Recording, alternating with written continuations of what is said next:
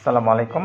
আমরা grade four gynaecomastia single keyhole surgery that যে দাগবিহীন অপারেশনের মাধ্যমে আমরা কমপ্লিট করলাম।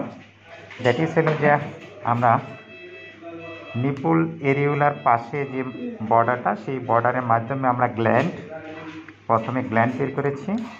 তার পরবর্তীতে যে রিমেনিং পার্টটাকে ফ্যাট থাকে, চর্বি থাকে, সেটাকে আমরা হলো যে লাইপোসাকশনের মাধ্যমে নিয়ে আসছি। করার পরে আমরা হলো ড্রেনটা একজিলাতে দিয়ে দিয়েছি বগলের নিচ দিয়ে আর কি যেটাকে বলি। যদিও কোনো ব্লাড টাড কোনো কিছু আসবে না, সতর্কতামূলক আমরা দিয়ে দিয়েছি। আর এখানে দেখেন আপনার নিপুল এরুলার চারপাশ দিয়ে যে আমরা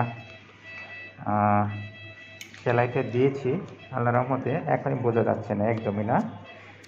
আর সবচেয়ে বড় কথা হলো যে গ্রেড ফোর গাইনোকমাস্টিয়া দুইটা record grade four gynaecomastia single keyhole surgery that is ডাকবিন সার্জারির মাধ্যমে আমরা করলাম। একই সঙ্গে আরেকটাই হলো যে গ্রেড ফোর গাইনোকমাস্টিয়া আমরা সম্পূর্ণ লোকাল অ্যানেস্থেশিয়ার মাধ্যমে দিয়ে করেছি। যেমন হলো আহম্মদ তুমি শুনতে পাচ্ছ? জি স্যার। আচ্ছা কেমন আছো? আলহামদুলিল্লাহ ভালো স্যার। আচ্ছা আহমদ খুবই ভালো আছে। আমাদের অপারেশন শেষ হ্যাঁ? তোমাকে কি ব্যথা ট্যাথা দিয়েছি? ব্যথা হালকা খুবই সামান্য ব্যথা খুবই সামান্য আচ্ছা। ও খুবই ব্রেভ ম্যান আমরা গ্রেট ফোর গাইনোকমাস্টিয়া আসলে একদম টোটালি লোকাল এবং গল্প করতে করতে কাজ করেছি।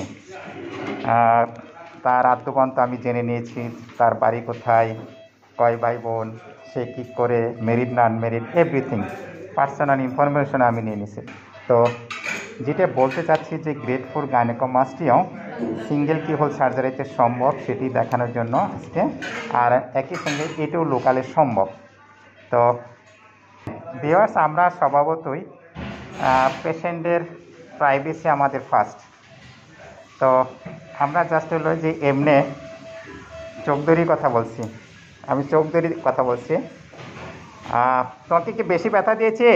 না স্যার ব্যথা বেশি লাগে নাই। আচ্ছা।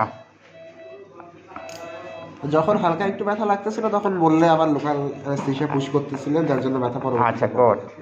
মানে ওই দেওয়ার সময় একটু ব্যথা পায় লোকাল অ্যানেস্থেশিয়া দেওয়ার সময় একটু ব্যথা পায় অনেক সময়। আর যদি কখনো এমনিও ব্যথা পায় সেই জায়গায় আমরা অপারেশন স্টপ করে আবার লোকাল দিয়ে দিছি। হ্যাঁ গল্প করতে করতে মিউচুয়াল আন্ডারস্ট্যান্ডিংয়ের মাধ্যমে অপারেশনগুলো হয়ে থাকে। ওকে ইনশাল্লাহ আহমদ জি স্যার। একটা হাসি দাও। Thank you sir okay thank you